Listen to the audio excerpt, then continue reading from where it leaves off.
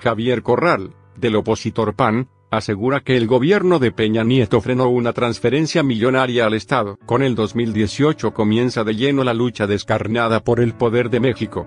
Y una de esas batallas se está librando en Chihuahua, al norte del país. El gobierno de esa entidad, encabezado por el panista Javier Corral, investiga una presunta trama de corrupción que habría desviado 250 millones de pesos de la Secretaría de Hacienda a través de gobiernos locales para triangularlos a campañas del PRI en 2016. El caso promete convertirse en un tema que desarrollará junto a las campañas presidenciales, que han abanderado la batalla contra la corrupción como uno de los asuntos principales. Este lunes, Corral dijo en una conferencia de prensa en la Ciudad de México, que su gobierno ha sido castigado por la investigación sobre el saqueo de su antecesor, el priista César Duarte. De acuerdo con el mandatario, su administración no recibió 700 millones de pesos 36, 4 millones de dólares que el gobierno de Enrique Peña Nieto debió haber transferido al cierre de 2017 para pago de salarios, aguinaldos y proveedores. Corral cree que la pesquisa que lleva adelante la Fiscalía Local fue el motivo que frenó el depósito. El gobierno de Chihuahua ha actuado contra la corrupción y el gobierno de Peña Nieto actúa contra el pueblo de Chihuahua.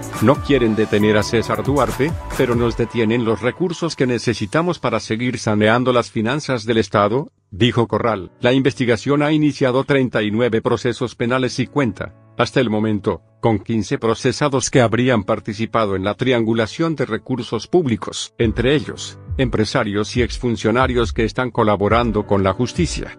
Los jueces locales han librado 30 órdenes de aprehensión, una tercera parte de ellas en contra del exgobernador Duarte, quien se encuentra en Estados Unidos tramitando un asilo político y una visa especial para empresarios. Corral afirmó que Chihuahua fue la única de las 32 entidades que no recibió el dinero prometido por el gobierno federal. No están estrangulando económicamente, acusó.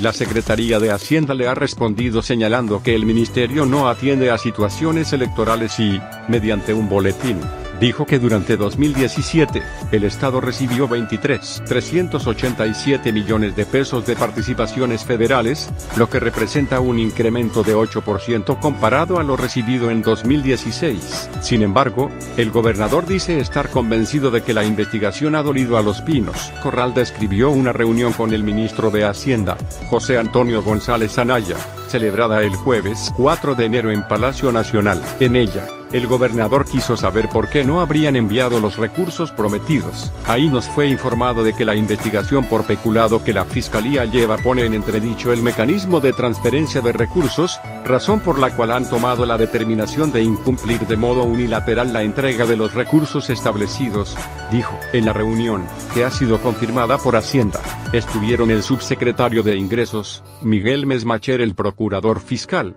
Max Diener e Isaac Gamboa Lozano, de la Unidad de Política y Control Presupuestario. Gustavo Madero, el expresidente del PAN originario de Chihuahua, acompañó a Corral. Hemos tocado el modus operandi de la corrupción política en México, de la que toda la nación habla, con la diferencia de que nosotros lo hemos acreditado técnica y documentalmente. Dijo este lunes Corral, el gobernador estuvo respaldado por ciudadanos y políticos simpatizantes con la coalición por México al frente, formada por el PAN y el PRD, como Jorge Castañeda, la activista Denise Dresser, el diputado del PRD Agustín Basabe, los senadores panistas Ernesto Rufo y Juan Carlos Romero Oix, el exsecretario de Gobernación Santiago Creel y el actor Daniel Jiménez Cacho, entre otros académicos y activistas. La investigación de Chihuahua se enmarcaría en un escándalo más de corrupción local como los que se han dado en Veracruz y Quintana Roo de no ser por un detalle, el pasado 20 de diciembre el gobierno de Chihuahua detuvo a Alejandro Gutiérrez,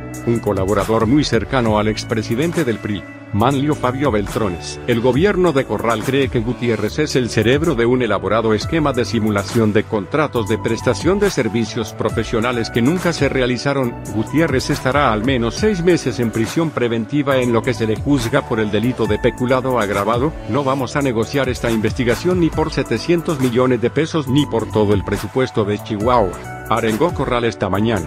Los aires políticos que soplan han hecho suponer a muchos que la investigación se dirige hacia Beltrones, una poderosa figura del PRI. Este lunes se confirmó que el exgobernador de Sonora, un hábil operador del tricolor en el Senado y la Cámara de Diputados, tramitó un amparo en contra de cualquier orden de aprehensión, para no ser citado en la investigación y para tener acceso al expediente en contra de uno de sus colaboradores más cercanos. Corral confirmó este hecho diciendo que el político solicitó la garantía ante un juez federal. El gobernador chihuahuense fue muy cauteloso de no involucrar a Beltrones, de momento, en la trama. No vamos a inventar ninguna responsabilidad a nadie, dijo.